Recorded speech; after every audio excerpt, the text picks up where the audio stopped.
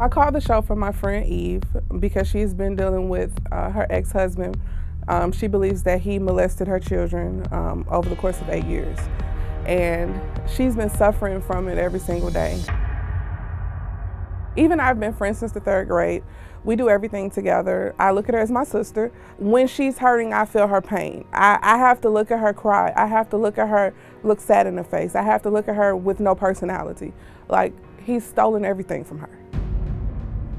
When she told me her ex-husband, Paul, had been molesting her two children with him from eight months to four years old, we both were just like in tears and crying. And I hugged her. Um, I asked her what she was gonna do. I just basically tried to comfort her. It made me feel like he should rot in hell. It's even worse that it's their father. The one person that you should trust in your life is your father and he took that away from them. He had the nerve to call and ask to see them. Like, nothing's happened. Like, he's this old, perfect father. You didn't look at him as your children when you were doing what you're doing in eight months. So why do you want to see him now? So you can continue doing what you're doing from eight months to four years old? Now that she won't let him see the kids, he's accusing her of coaching them to say that this was done. He's accusing her of doing those things herself. In reality, he's the one that did it though. He needs to go to jail. And I'm probably wrong for saying he probably needs the death penalty because how could you molest your own daughter? How could you do that? There is no way my four year old would lie and fabricate or make up a story of that nature. I've never coached her. Uh, at the age of four, she went to a relative's home of her father's. And it was for a weekend. She returned a different child. As she put it, she knew her beaten from head to toe. What, what exactly did your daughter say to you?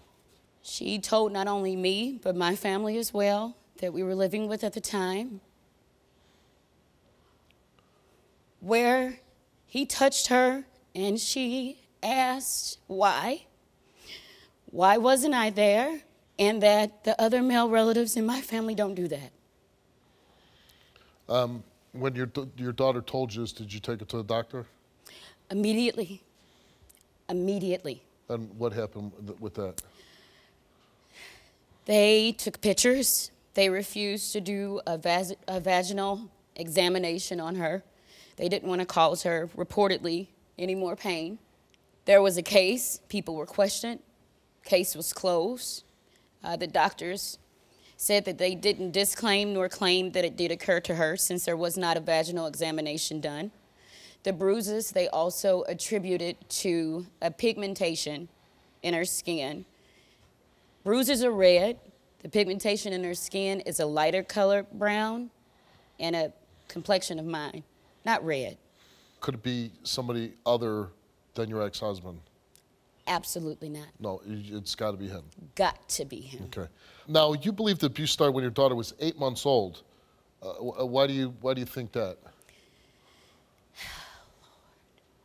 My daughter started having that I felt were abnormal. She was diagnosed with not only a yeast infection, but a doctor that advised me that it appears she had been tampered with in that area. I told her there's no way. You know, it's just just me and my husband with her. You know? Nobody keeps her. She wasn't in a daycare. It's just us. It's impossible. And it, it was impossible. The doctor said, I've seen this many times. I'm going to schedule you an appointment with a specialist. That appointment came and went. I was to get off of work at 3 a.m. that night. I did not see him until 9 a.m. in the morning. The appointment was missed. It was scheduled for 8. Uh, I think back I can recollect many occasions that things did not make sense on. There were many times where he would say, If you come home and I think you're high or drunk, I'm going to go in the room and lock the door to keep you out. It was at those times that I started hearing noises. And these noises were not just any noises, they were moans moans of people having sex, okay? The time you were with Paul and these incidents were going on, were you using drugs? adamantly, adamantly, I became a heavy user of cocaine. It was so bad, I didn't want to go home because whether I was high or sober, he was going to beat the brakes off of me. Period. No questions asked. None. Lies was told on me because of jealousy, mad because I moved on. And so she just began like coming up with these false accusations as a block to keep me away from my kids. Basically, she just got addicted to coke, saying that she was trying to lose weight. That's why she started doing coke. But it just got to the point where she'd be coked out and I couldn't leave my newborn daughter with a coked out chick. So I drove her butt to St. Louis, dropped her off and left her there. And then was hoping that she would get her act right and in the midst of that, I met another female. She found out about it, and that's when she started like kicking down my doors, stalking me, going through my trash, just on some crazy lunatic stuff. And then she realized that I wasn't messing with her like that no more. That's when she came up, like I said, with this cockamamie story. She's accused me of molesting my daughters. The day that she said I was I molesting them, they were over a relative's house. Later on that night, she called me saying that I molested my kids when I wasn't even with them that day. Uh, when I got the phone call, I said, female, you crazy, and hung up on her. Like, what's wrong with you? Because I already knew she was a nut, you know what I mean? Like, after that, she first made the accusation, it's kind of like she backed up off of it. And then she got locked up for uh, leaving my kids in the car while she was in the mall. She got arrested for that. That's when I called her and I was like, look, I'm coming to get my kids. You, like, you off, you unfit.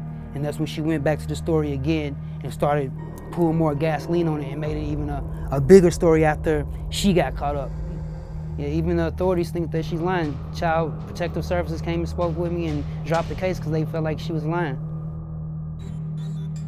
It's been since past Christmas since I seen my kids last.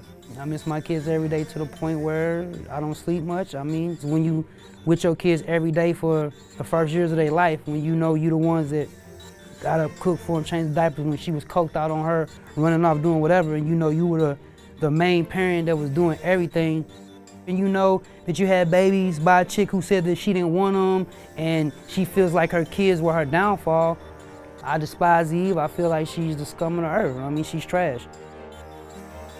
You are claiming that she sexually molested your daughter? At the end of the day, I don't know if, if, if my daughters are saying anything. You said it on the tape that I did it, it. If anything happened to them, I know for a fact she did. You, Cause she, you yeah. believe that if they were molested. Yeah, it was her. So, but you think that maybe they weren't molested. I mean, at the, my daughter looked at me in my eyes and told me that I touched her. So Paul came here today, he hasn't seen his daughters, and he took this lie detector test. And we asked him, regarding your oldest daughter, have you ever sexually molested her? And Paul said no. Regarding your youngest daughter, have you ever sexually molested her? Paul said no.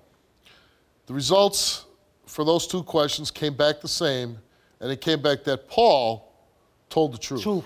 She's laying that bitch! We asked Eve, did you ever sexually molest your daughters? She said no. She told the truth. About that. This ain't about her. And that's good, right? Because now we know that more than likely these kids have not been sexually molested. And that's what we want at the end of the day. Eve, we asked you, are you fabricating the story that Paul sexually molested your daughters? You answered no. You did not tell the truth. Asshole. You river rat ass trash. See that? That's your Did buddy, right? We asked That's her, your buddy, right? Did you ever coach your daughters? We asked Eve, did you ever coach your daughters to say that Paul sexually molested them? She said no, and the results are she did not tell the truth. Um, well, what I'm do? And well, not, and I not, mean, Paul, well, listen. The one good thing is you being on the show, you know that you can you can obviously track her down because truthfully, 2, 2 your p.m. tomorrow. should I have meet, the right to see I meet up my lawyer 2 Right. p.m. tomorrow. That's I'm why glad I you wait. came here and cleared your name. Good luck too. And uh, you? Like I said, you did a lot of drugs. I think the coke ate your brain up, but I wasn't doing drugs. I wasn't in Vegas when it happened. I had just had a second baby. right. And I, I'm saying, I wasn't in Vegas when I'm it saying, happened. Now knowing the results, I would hope I would hope that you would let Paul see his daughters. That's all I'm saying. Show's over. You got your answers. You came here. I was raped. My name is Steve Wilkos, and I'm an investigative talk show host with a law enforcement background. It was my life or his. My job is to get truth and justice for everyday people. Watch our videos now.